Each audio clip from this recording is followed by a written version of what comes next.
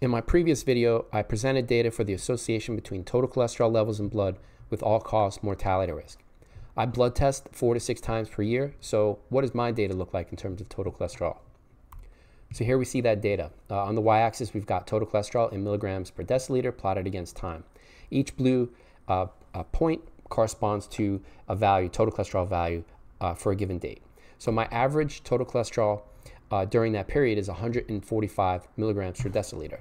So how does that, uh, what, what does that put me in terms of uh, mortality risk? So here's that data, and we're looking at mortality risk for 45 to 54 year olds. Uh, I'm currently 47 years old chronologically. And based on my 145 uh, value, that would put me at about 60% higher, uh, at a 60% higher risk of death for all causes when compared with someone with higher cholesterol levels, in this case around 220.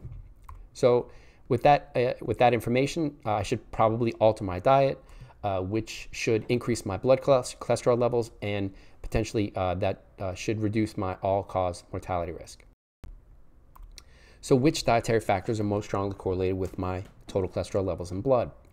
So 2015, I haven't just tracked my uh, blood test uh, results, I've also tracked my diet. So I weigh all my food and then log that uh, intake into an online app, which tells me my macro and micronutrients uh, that I consumed on that day. So I've been doing that since 2015.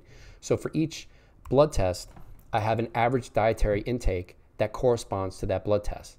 So for example, if I uh, uh, do, do a blood test on January 1st, uh, January 2nd starts the dietary period for my next blood test. So if I blood test on March 1st, so January 2nd to February 28th or 29th, depending if it's on, on in a leap year, uh, I can take the average dietary intake from January 2nd to February 29th, and that data would correspond to the blood test then on March 1st.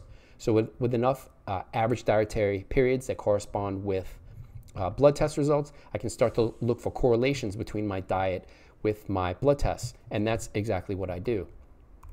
So um, what I found was that my plasma levels of cholesterol are most strongly uh, correlated with my saturated fat intake. So that's what's plotted here, total cholesterol in milligrams per deciliter on the y-axis against my saturated, my average saturated fat intake in grams per day. And we can see that the correlation is very strong. Uh, in this case, it's 0.87. So a correlation of uh, 1 in this case is perfectly linear. That's as good as it gets. So having a correlation of 0.87 is a very strong correlation. Uh, and we can, it's a significant correlation too, statistically significant. We can see that by the p-value of 2.2 times 10 to the negative 8. So what this means is, is that the higher my saturated fat intake, the higher my total cholesterol levels in blood. And uh, at the high end of this range, my saturated fat intake being around 50 grams per day, the highest cholesterol level that I've attained in the last five years is around 180. So this would suggest that I should go even higher if I want to get my cholesterol levels to around 220, which was associated with lowest risk of death for all causes for my age group.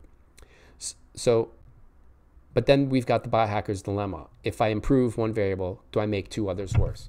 So in this case, those two variables, one of them is uh, glucose. So what we're looking at here is the correlation between my total cholesterol levels with my plasma glucose levels on the x-axis.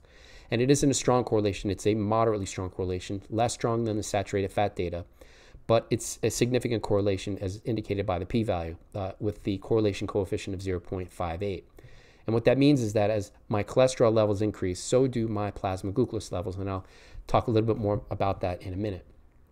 Similarly, uh, higher total cholesterol is also associated with higher levels of plasma creatinine for me. And again, this is also a moderately strong correlation with a co correlation coefficient of 0.61. And it's, again, statistically significant, as you can see by the, the p-value. So um, it also, it's also important to note that these are univariate associations, meaning the correlation between glucose with total cholesterol or creatinine against total cholesterol. It's one variable uh, and its correlation against another variable. It's called univariate. Now, I can look at the combined uh, correlation between glucose and creatinine against total cholesterol and what does that result in so when i when i put those two in, in a model the correlation is then 0.7 which is now getting towards a pretty strong correlation and it's also interesting to note that the um, percentage of the variance the r squared that is explained uh, by glucose and creatinine. The sorry the percentage of the variance in total cholesterol that's explained by glucose and creatinine it's 40 uh, about 49% that's what the r squared is uh, indicating.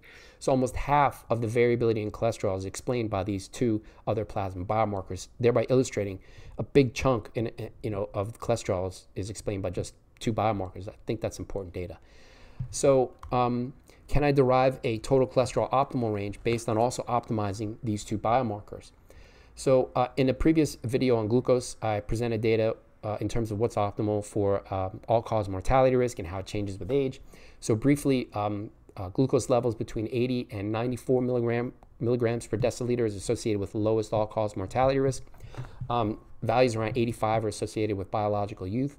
So uh, I'd prefer to get somewhere in the 85 to 90 range, or even as close as I can to 80, even though that's uh, unlikely based on these data. Uh, as you can see, I've only hit values close to 80 twice in the last five years out of about 25 blood tests. So that's unlikely. What's more likely for me is I can get somewhere in the 85 to 90 range. So um, assuming I can get closer to 80, though, the total cholesterol range that would uh, potentially optimize my glucose values is between 130 to 160 milligrams per deciliter. So what about for creatinine? Now, I also have a video on creatinine. Check that out if you're interested. But creatinine levels increase with age, which uh, creatinine is basically a measure of kidney function. So, higher creatinine indicates worse kidney function with age. So, uh, it, lower is, is better for creatinine, and also uh, uh values, all cause mortality values uh, for creatinine are optimal around 0.8 uh, milligrams per deciliter. So, somewhere around 0.8 would be great, but again, based on my data, you can see I only hit somewhere around that 0.8 range twice out of 24 or 25 blood tests here. So what's more likely is somewhere in the 0.9 to 1.0 range. Uh, my average creatinine value during that five-year period is 0.92. So I'd be happier with that rather than some of the higher values uh, that you can see, you know, towards 1.1 even, which is going in the wrong direction. That's ind indicative of uh, worse kidney function. So uh, to get in that 0.85 to around 1 range, um, the total my total cholesterol levels uh, would potentially need to be in the 130 to around 150 range. So somewhere in the 130 to 150, 160 range may optimize both glucose and creatinine, but it may be bad for all-cause mortality risk because if you remember on the earlier slide, values in the 130 to 160 range were associated with a higher all-cause mortality risk. So there isn't a happy ending to the story. I just wanted to illustrate that when it comes to optimizing blood biomarkers, sometimes it may be important to win as many battles as you can and not lose as many battles. It may not be possible to simultaneously optimize everything, but it may be possible to, you know, to optimize eight things and two things are not optimized. That may be as good as it can get. So uh, I'm going to keep at it and see if I can, uh, you know, somehow optimize all three. But for now, this is where we are. That's all I've got. You can find me a lot of places online. Have a great day.